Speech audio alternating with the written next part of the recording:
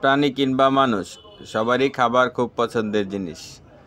কেউ প্রয়োজনে খায়, কেউ অপ্রয়োজনে খায়, কেউ আবার খাবার নিয়ে বিভিন্ন পাগলামি শুরু করে।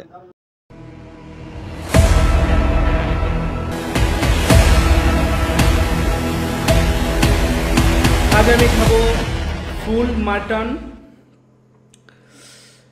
ফুল মাটন খাব, আর সাথে নিয়েছি চিলি সস।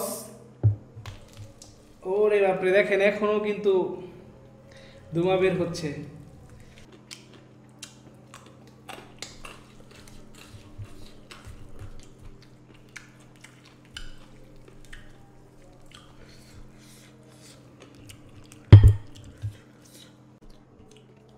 এক যুবককে দেখা যাচ্ছে একাই খেয়ে ফেলেছেন আস্ত খাসি। জাপানি এক ইউটিউবারের কাছ থেকে খাওয়ার ভিডিও দেখে খাওয়ার প্রতি ঝুঁকে যান ময়মনসিংহের যুবক নুমান। করোনা ভাইরাস চলাকালীন সময়ে আজব সব খাওয়া দাওয়া শুরু করেন নুমান। সেই সাথে সেই খাওয়া দাওয়ার ভিডিওগুলো আপলোড করতে থাকেন ইউটিউব চ্যানেলে।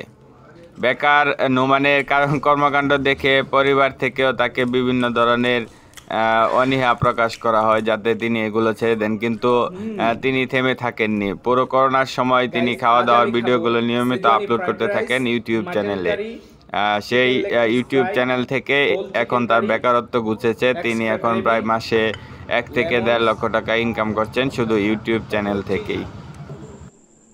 কাঁঠাল দিয়ে কলা দিয়ে মিঠাই দিয়ে আম দিয়ে দুধ কলা বাদ কাঁঠাল। নিয়েছি বেগুনি তারপর নিয়েছি পেঁয়াজু। এই পেঁয়াজু কিন্তু এক টাকা করে পিস তারপর নিয়েছি আলু পুরি ভিতরে কিন্তু আলু আছে। তারপর তো দেখল একটু বেশি ছিল আর কি দশ হাজার টাকার মতো আসে। এখন ওইটা বাড়তে বাড়তে এখন দেড় হাজার ডলারে এসেছে। দেখতে পাচ্ছেন অনেক ঝাল মরিচ। আজ আমি খেতে যাচ্ছি বেগুন ভাজি মাটন কারি কোয়েল এক কারি তারপর নিয়েছি আস্ত একটি চিকেন কারি। তারপর নিয়েছি হোয়াইট রাইস সাদা ভাত।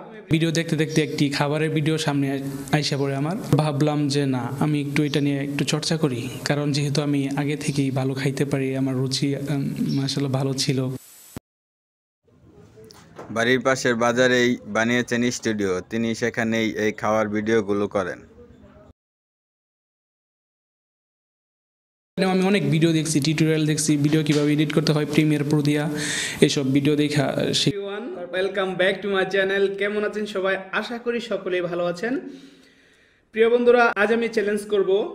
এখানে একশোই তো মনে হবে, একশোর উপরে অথবা দুইশো ফুচকা।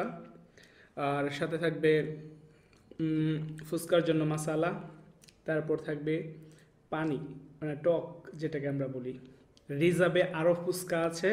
এগুলো শেষ করে আরও ফুচকা নেওয়ার সম্ভাবনা আছে প্রিয় বন্ধুরা? আছেন? প্রিয় বন্ধুরা আজ আমি খাব spicy mutton curry fish fry gulab jamun chicken fry মশলা জিরা রাইস তারপর শিরিষ পিঠা যেটাকে আমার গ্রামে বলে শিরিষ পিঠা চাউল দিয়ে বানানো হয়েছে।